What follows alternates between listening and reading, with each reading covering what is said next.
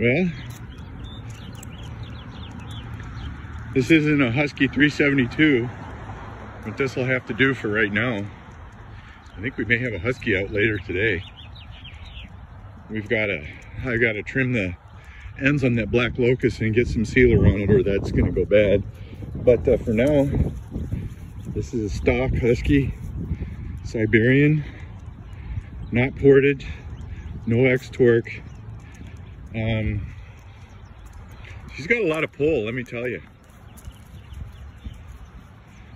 I didn't even touch the rakers and she's pulling. Yeah. Gunny says hello this morning.